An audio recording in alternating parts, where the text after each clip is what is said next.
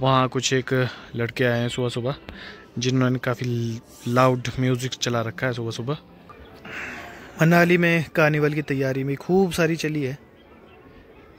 इसकी पूरी ज़िम्मेदारी आज मेरे ऊपर है। पूरे दिन भर मुझे इसको खिलाना है किसी भी तरह से।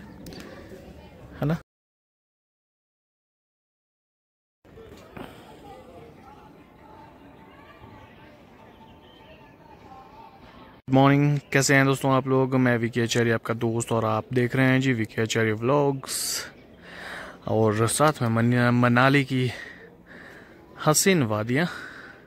सूखी सूखी सी। आजकल काफ़ी सूखी सूखी सी पहाड़ियाँ लग रही है ये। और साथ में ये जो धुआँ नज़र आ रहा है आपको इसकी वजह से और सूखा सूखा सा फील हो रहा है। दोस्तों यहाँ नीचे है हमारा गाँव का डिपो जहाँ पर काफ़ी लाइन लगी है आजकल। रश है। दो तीन महीनों का इकट्ठे राशन दिया जा रहा है, इसीलिए लाइन काफ़ी हो जाती है और देर लगती है काफ़ी। सर्दियों की वजह से फूल तो अब नहीं रहे कोई भी, लेकिन ये हल्के फुल्के कोई, जैसे ये तुलसी रह गई है थोड़ी बहुत, और ये फूल है बीच में, कोई इसको अच्छा खासा पानी मिला है शायद, इसीलिए लगा हुआ है। बाकी तुलसी तो देखिए कैसे ही हो गई, अब सूखने के कगार पे आ गई है। बाकी सारे फूल सूख चुके हैं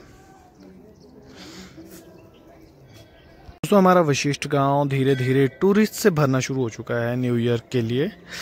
और वहाँ कुछ एक लड़के आए हैं सुबह सुबह जिन्होंने काफ़ी लाउड म्यूज़िक चला रखा है सुबह सुबह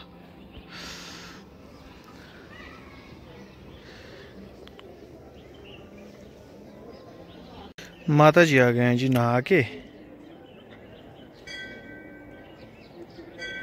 मैं थोड़ा लेट जाऊँगा।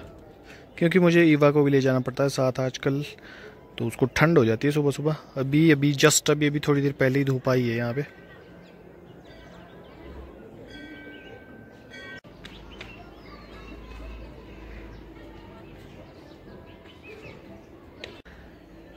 दोस्तों न्यू ईयर ईव काफ़ी ज़बरदस्त होने वाली है इस बार मुझे लगता है।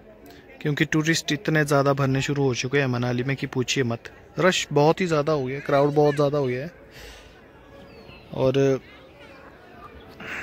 मनाली में कार्निवल की तैयारी में खूब सारी चली है।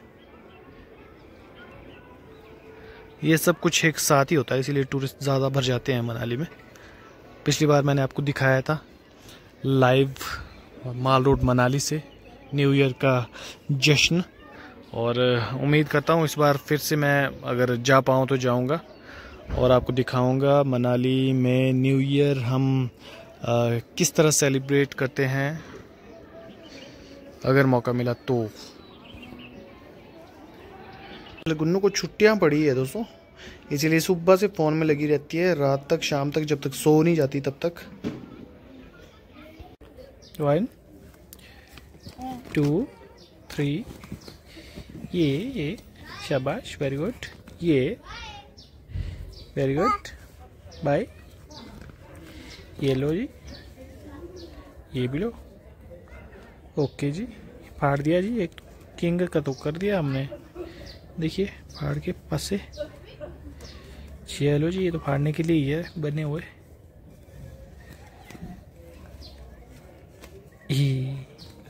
दोस्तों, आज ईवा पूरे दिन मेरे पास रहेगी. क्योंकि इसकी मम्मी गई है जी।